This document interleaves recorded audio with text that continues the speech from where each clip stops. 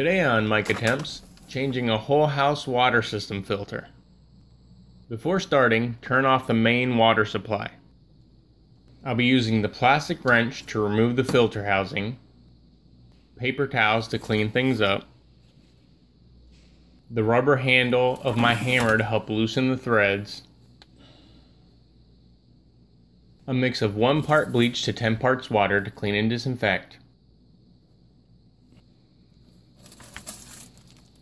and a new sediment filter. Turn the handle on the top of the housing to the off position. Use the rubber handle of a hammer or a rubber mallet to tap around the threads. This step is very important, but don't hit it hard. Just tap all the way around.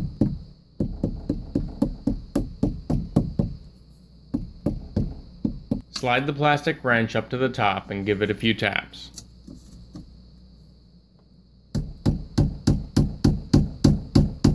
I use my left elbow to stabilize the bottom of the filter housing while using the water line for leverage to turn the wrench to the left.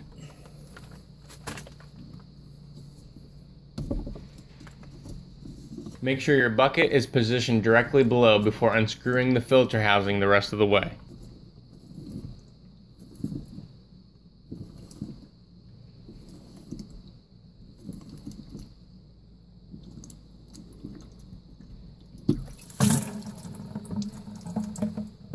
The old filter is dirty, but not too bad. This dark gray silt is what gets filtered out of our water.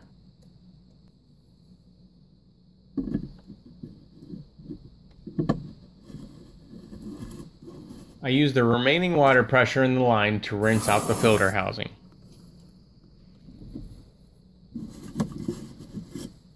Clean the inside of the filter housing, paying special attention to the threads before one final rinse.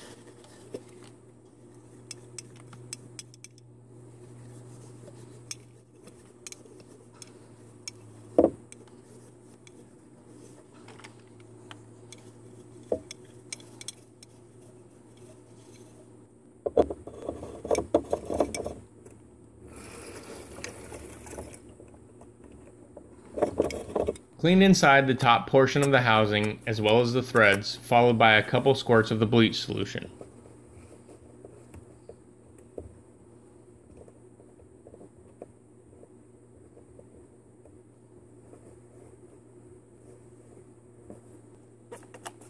Clean and inspect the O-ring. Replace it if you find any cracks.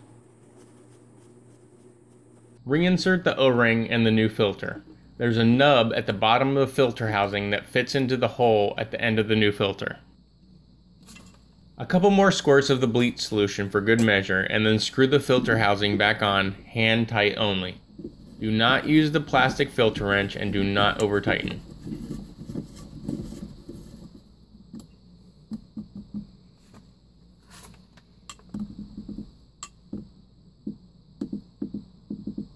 Turn the handle on top of the housing back to the filter position and then turn the main water supply back on. Wipe off the entire housing and check for leaks. See the description below for links to the parts I used. Feel free to rate this video, add your comments and questions below, and subscribe for more.